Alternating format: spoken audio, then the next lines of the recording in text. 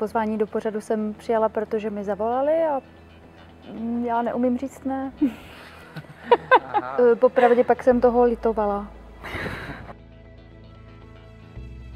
protože pan Kraus se trochu katne.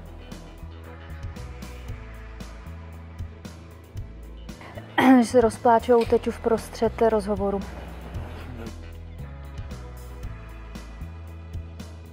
Netuším, asi pravděpodobně na to, co dělám, což bude spojit spjaté s výtvarným uměním nebo s literaturou.